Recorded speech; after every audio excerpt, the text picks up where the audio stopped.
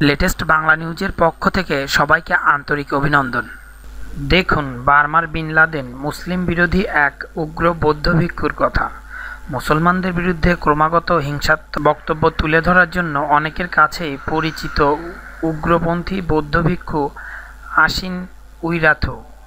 মিয়ানমারের রোহিঙ্গা মুসলমানদের বিষয়ে বৌদ্ধদের মনে ভীতি ছড়ানোর জন্য তাকেই অভিযুক্ত করা হয়। এমনকি জাতিসংঘের মিয়ানমার বিষয়ক বিশেষ দূত ইয়াং হি লিকে বেশ্যা বলে গালমন্দ করেছেন এই বৌদ্ধ ভিক্ষু আসিন উইরাথো। পনেরো বছর আগেও এই বৌদ্ধ ভিক্ষু কারও কাছে পরিচিত ছিল না।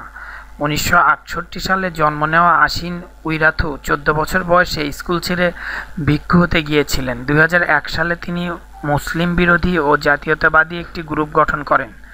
যার নাম দেন নাইন সিক্স নাইন গ্রুপ। সংগঠনটিকে উগ্রপন্থী হিসেবে বিবেচনা করা হয়। যদিও উগ্রপন্থার বিষয়টি উইরাথুর সমর্থকরা বরাবরই অস্বীকার করে আসছেন। দুই হাজার তিন সালে তাকে পঁচিশ বছরের কারাদণ্ড দেওয়া হয়েছিল। কিন্তু দুই হাজার দশ সালে অন্যান্য রাজবন্দির সঙ্গে তাকে মুক্তি দেওয়া হয়।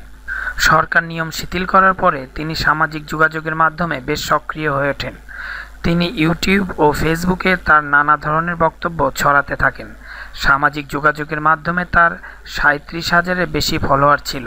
দুই হাজার বারো সালে রাখাইন রাজ্যে মুসলমান এবং বৌদ্ধদের মধ্যে যখন তীব্র সংঘাত শুরু হয়, সেই সময় আসিন উইরাতু তার জ্বালাময়ী বক্তব্য নিয়ে জনসম্মুখে আসেন। তার একটি পরিচিত উক্তি ছিল, তুমি যাই করো, সেটা একজন জাতীয়তাবাদী হিসেবে করবে। তাকে একবার জিজ্ঞাসা করা হয়েছিল, তিনি বার্মার বিন লাদেন কিনা? জবাবে উইরাথু বলেছিলেন, এই বিষয়টি তিনি অস্বীকার করবেন না। বিভিন্ন জায়গায় তিনি বলেছেন, তিনি শান্তির জন্য কাজ করেছেন। দুই হাজার তেরো সালে পয়লা জুলাই টাইম ম্যাগাজিন আসিন উইরাথুকে নিয়ে একটি প্রচ্ছেদ প্রতিবেদন করেছিল। সেটির শিরোনাম ছিল, একজন বৌদ্ধ সন্ত্রাসীর মুখ। তার বক্তব্য হিংসা ছড়িয়েছিল এবং সেগুলোর মূল টার্গেট ছিল রোহিঙ্গা মুসলমানরা। রোহিঙ্গা মুসলমানদের তৃতীয় কোনো দেশে স্থানান্তরিত করার দাবি নিয়ে তিনি সমাবেশও করেছেন। মুসলমানদের মধ্যে জন্মহার বেশি এমন বক্তব্য প্রচার করেছেন আসিন উইরাথো।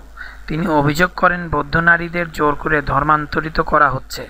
আমার এই চ্যানেল হতে আপনারা যদি আরও লেটেস্ট নিউজ পেতে চান, তাহলে অবশ্যই সাবস্ক্রাইবের মাধ্যমে আমার সঙ্গে থাকুন। ধন্যবাদ সবাইকে।